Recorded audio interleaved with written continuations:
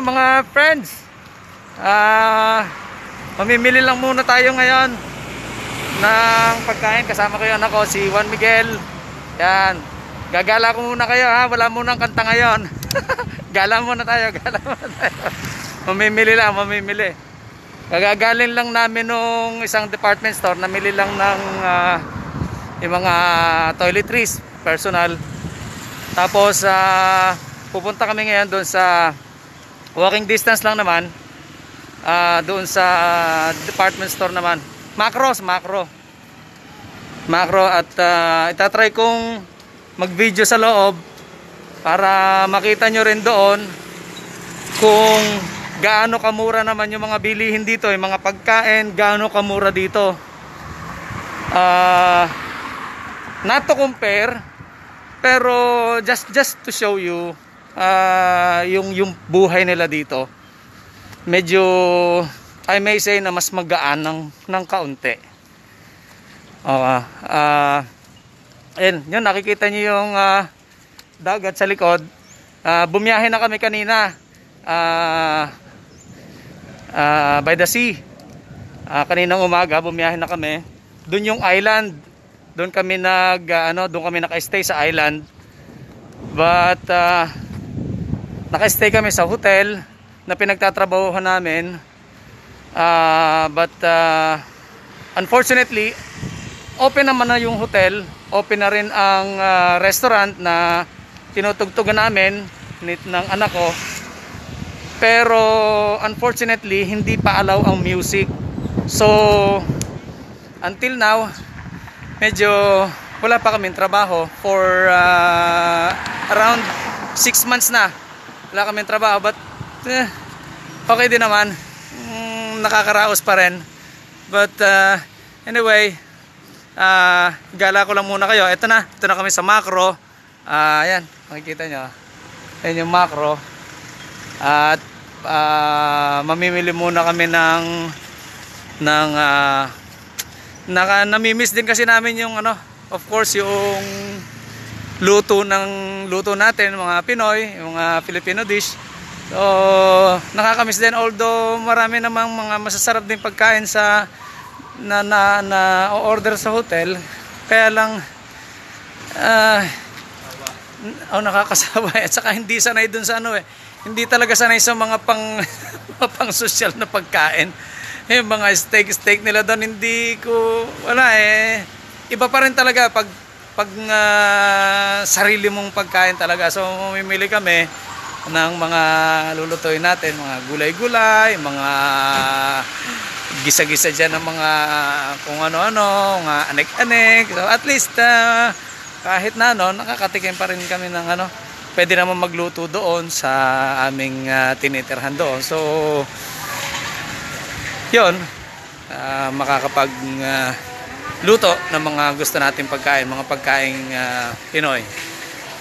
Okay, so uh, bye for now. Dadaan muna kami doon sa sa scanner, thermal scanner at saka mag uh, ano, magsa-sign up. Bye for now. Dito na po kami sa macro. Bye-bye. Dito na po kami sa macro. Mamimili lang kami ng ano ng bawang at saka sibuyas. Magigisa lang ako ng bawang at saka sibuyas. Kinaulam namin.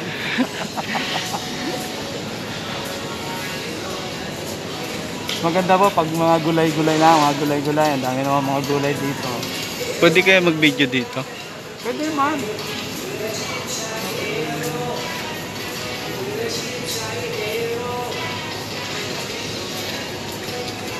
Ay, mga frozen food.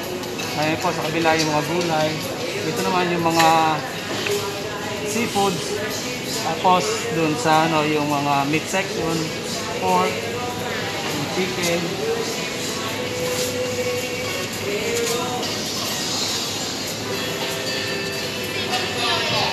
Yan, tinan nyo po yung ano.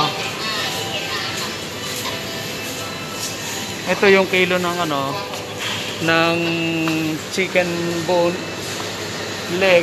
Ito yung hita ng manok, 56 baht.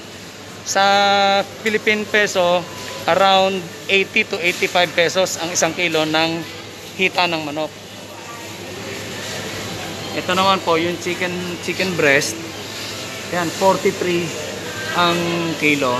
Around mga 70 pesos ang isang kilo ng chicken breast. Ito, yan yung mga manok na ano chicken wings. Chicken boneless spit ano yun? bakit ganun? Ito, chicken wings. Ah, 102 ang kilo.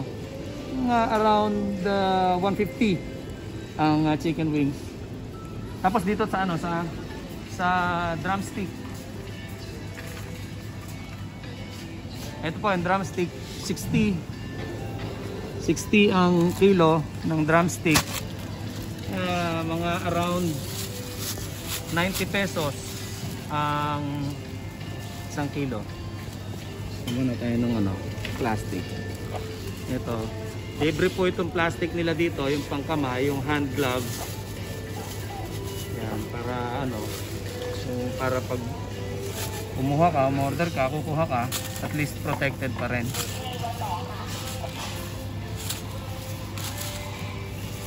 yan. Tama na po ito. Kasi kukulangin na sa budget. Okay na po yan yan.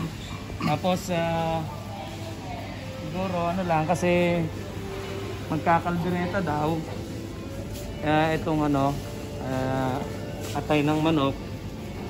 Yan 82 82 baht mga around ano lang yan mga around 110 pesos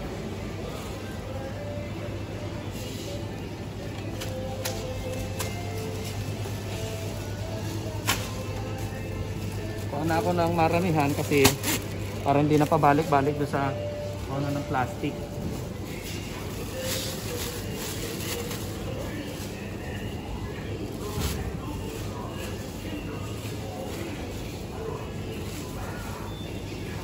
Kaya magluluto lang ng kaldereta. Kaya may konting atay. Okay, doon po tayo sa baboy.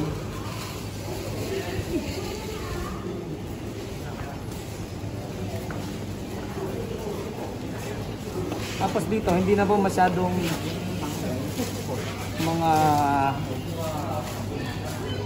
yung social distancing. Although, meron pa rin po. Saka, of course, meron mga protective equipment which is mandatory pa rin. Yung ah, face mask, mandatory pa rin po.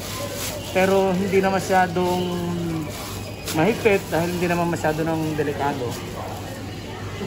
Manageable na. Kumbaga controlled na. And I hope uh, ma-retain nila na ganon. Wala na maging masyadong mga cases dito sa Thailand. So, tingnan po natin dito.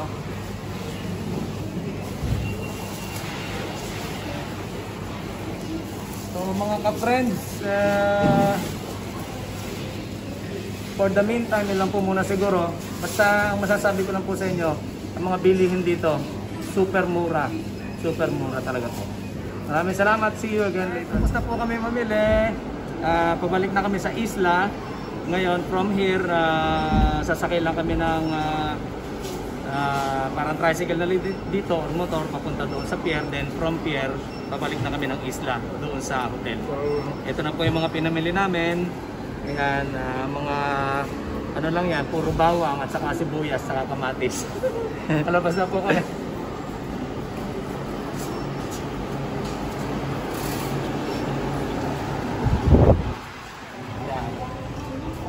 Then from here po, yan. P- pwede naman lakarin, kaya lang medyo mainit. So, may mga motor naman dyan. Punta lang kami ng pier. Diretso na kami. Yan na po. See you later pag nasa dagat na kami. Okay. Dito na kami sa lobby, sa office. Ah, dito na kami maghihintay ng speedboat going back to ah, the island. Dito kami pumunta. Dito kami nag ah, nagtatrabaho. Dito kami naka-stay. So ah, just waiting for the guests. Then diretso na kami ah, sa isla. Bye for now and uh, see you pag nasa speedboat na po kami. Thank you. Dito na po kami sa speedboat. Going to the island. It will take about only 10 minutes uh, ride sa speedboat. And uh, well, anyway, uh, we're going to video habang uh, naglalakbay tayo sa dagat. Para makita po ninyo. Yan. Nandun po tayo galing. Then, uh, papunta na tayo ng isla.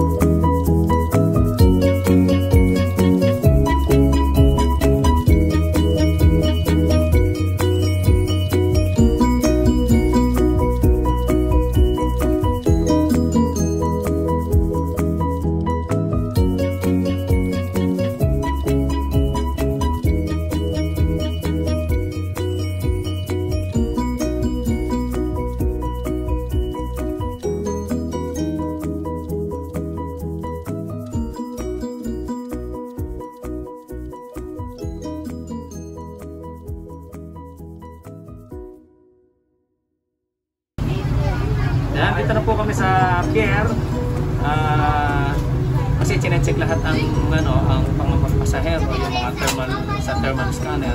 Dati-dati nung wala pa, direct doon sa Auprao, direct doon sa kabila, doon sa hotel mismo. Pero ngayon, hindi pwede lahat dito dumadaan para ma-check yung temperature ng ah, every guest.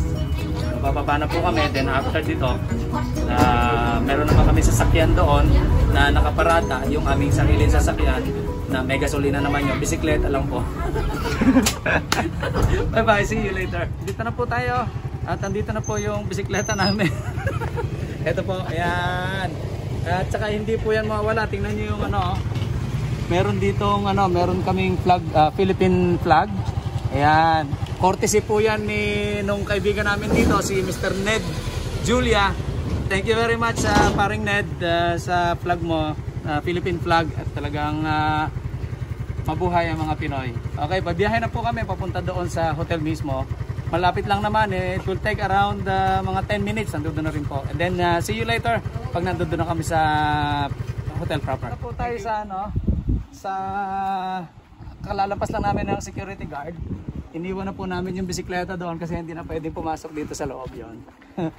so, eto, pababa na tayo. Ito yung una nating ma, ah, mabubungaran yung ah, HR ah, office. Then, dire-diretso na tayo sa Levimarn muna. Then doon sa may dulo, doon po kami, doon po yung aming ah, ah, hotel na pinagtatrabahuhan. Pero itong Levimarn, eh, sister company din po ng ano ng ah, camp ng kumpanya. Yan maganda po dito sa makikita nyo on uh, the left side. Yan, start, start na po ng ah, viewing ng mga guests diyan. Diyan siya nagkukuha na sila ng picture diyan, nag uh, nagvi-video kasi maganda na po yung lugar talaga.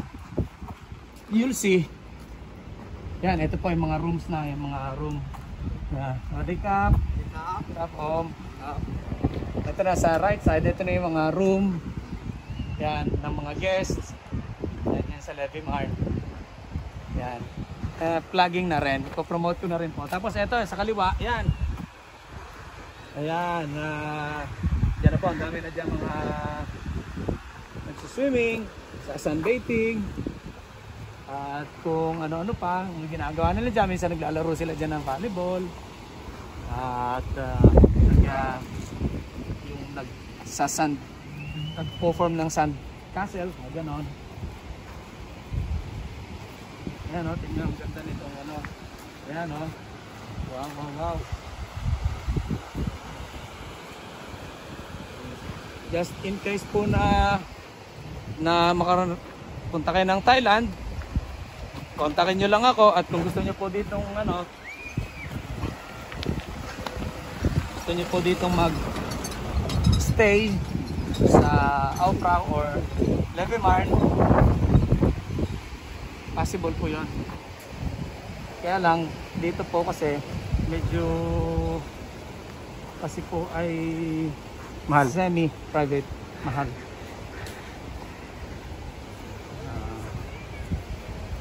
Ah, around uh, 8,000 baht one night. 8,000 baht a night. Yun po yung medyo mababa na. Or 4,000 meron din pong 4,000 a night dito. Baht baht yun around mga 7,000 pesos a night. So yun po mga guest yan no?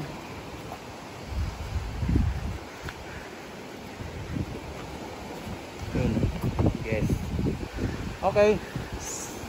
See you po again later ayan kami po naglalakad na at ah, pakikita ko po sa inyo ito na nasa entrance na po tayo ng Auprao Resort ayan po Auprao Auprao Resort ayan na po tayo and then ah, ayan i Iaakyat ko lang kayo saglit doon sa may swimming pool para makita nyo rin po. Ayan, no? Yan po, dagat na po yung sa kabila. Yan yung anak ko, si Juan Miguel de la Cruz. Wow! Teka lang, akyat ko, yun. akyat ko lang kayo saglit, ha? See you there. Akyat ko lang po kayo dito. Para makita nyo din. Yan. Iyan po. Ayan. Ayan, ayan, ayan. Yan po tayo. Swimming pool. Ayan o. Tapos po, ayan sa baba, ano man ng ano. Ayan.